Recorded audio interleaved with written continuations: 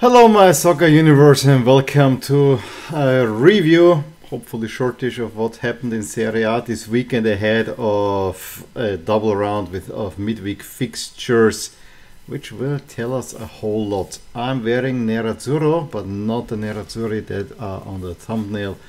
Inter had a heck of a week after all the trouble ever since they made it through in the Champions League, I think they're starting to hit form again. And it was, to be honest, ridiculous how they lost and dropped points uh, in the weeks before, where they actually completely dominated games, created chances, just couldn't put, put them away. Now the results are coming, and what that means is that we are having quite a top four race on our hands because uh, even the teams that are ahead now of the chasing pack, which is the two Milan clubs plus Roma, but even the teams Lazio and Juve ahead of them are kind of a little bit faltering, especially Juve. So this will be a tight race, and Atalanta is definitely not out of it. We had a little bit of a pre-decider potentially in the uh, relegation battle, but um, still there are two teams that are still fighting for the last spot, the last free, free, free spot. But Lecce seems to be a bit on the safe side at the moment. And then we almost had a new champion. However, Salernitana are the party poopers, and I always have to point this out. There is no Napoli jersey back there because they are literally the big losers of the weekend. And Serie A did even everything. You know, I actually was kind of bemoaning the fact when I did my last video because at that point um, uh, Napoli game was still scheduled for Saturday. That Napoli will have to wait and don't win it in their own stadium.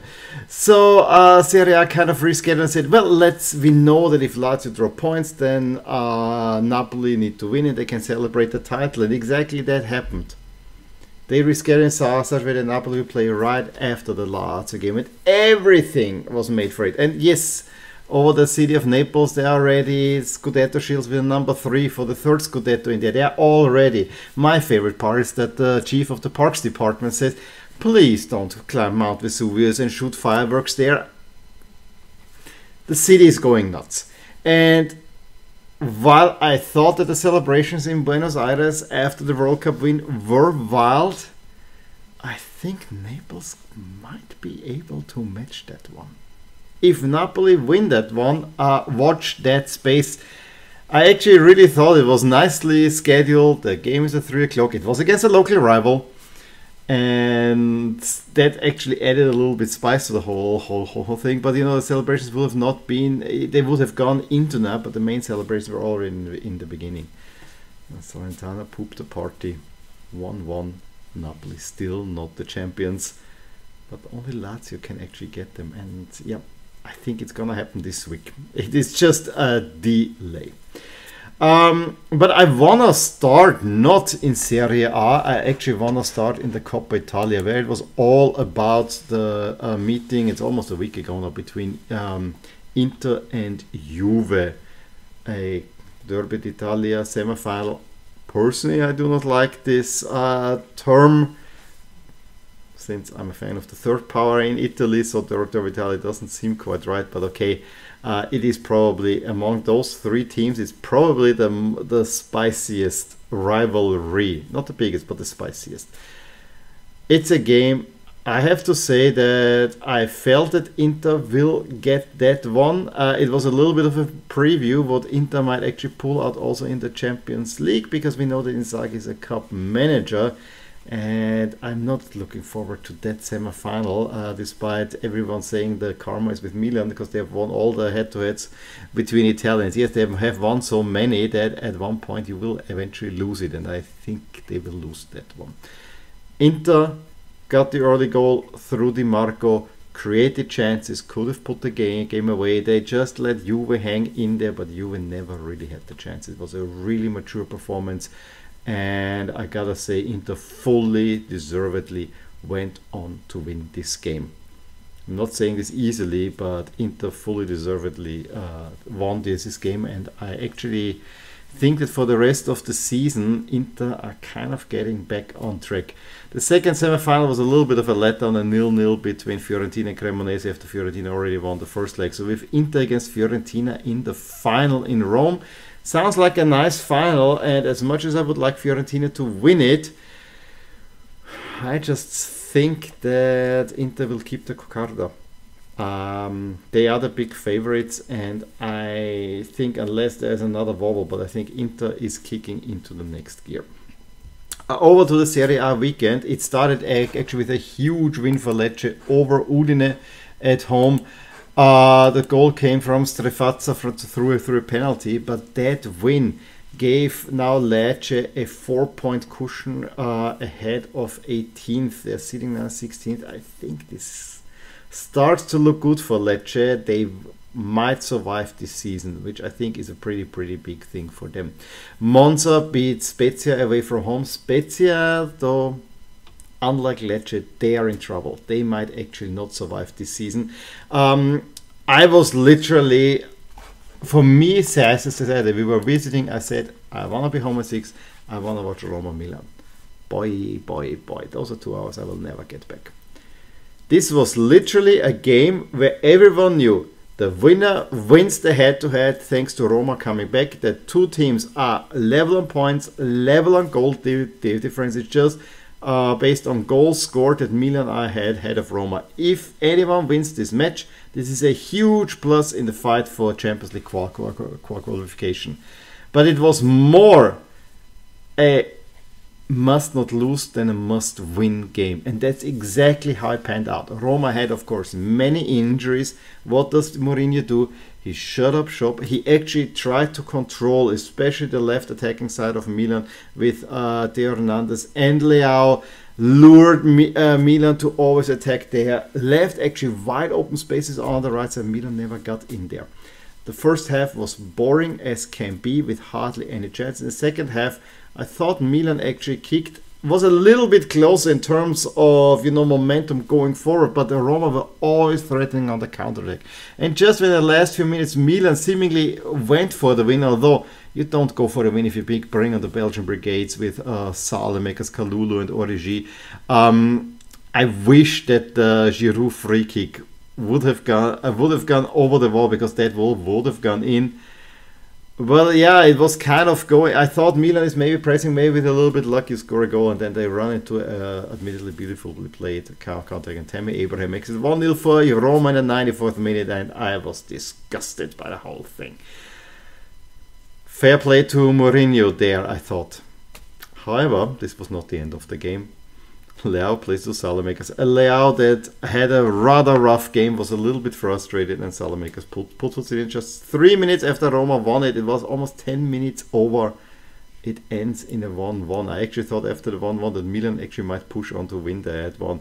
Did not happen, uh, but it was not a good game. Just watch, just watch the um, stoppage time. Maybe the last 50 minutes there was a little bit there. Uh, big win for Atalanta at Torino. That actually, to, coupled with the draw between Milan and Roma, allows now Atalanta to also go within two points of these two teams. Zappacosta gave them leads, and Navri had equal, but Zapata very eight uh, lay laid on after again Zappacosta assist. 2-1 for Atalanta, and Atalanta are an outside bet at the moment. Um, then the early kickoff was, of course, between Inter and Lazio, and despite Lazio having a halftime lead, through really nicely. Uh, it, it, was a smart uh, way that Felipe Anderson scored that goal, but a little bit against the run rough play because Inter were pressing, created the chances. Mkhitaryan actually had a goal wiped off offside, and then Lazio take the lead in the third totally against the run of play. Maybe they could have even doubled it. Um, the game kind of seemed to be going a little bit so and so until Lautaro Martinez in the 78th gets the equalizer and then Gosens with a really, really uh, acrobatic um, move, you know, hang, hang, hang in the air, gets the go ahead goal in the 83rd. However, uh, he also injured himself uh, there. It looked, it, it, it didn't look at this. It's definitely a shoulder injury. It might have been he might have dislocated his shoulder and then laid on Lautaro Martinez in the 90th. Gives it a 3 1 for Inter. Inter fully back in business. Now they're level on point with Milan and Roma. and head to head and everything. They're going on top of that table as well. So they're now in fourth place. Inter is back. Inter is most definitely back after this week, beating Juve, beating Lazio. And we always said that Inter, if it's not Napoli, they probably have the second best squad in Italy. Not the second best team, but the second best squad. They have the depth, uh, and it's a squad that's a little bit on a downturn, but they still have it in them. And then, as I said, I watched the first few minutes because we had to go to uh, the stadium here. The first first few minutes of, of, Napoli against Salernitana, I wanted to especially soak in the atmosphere.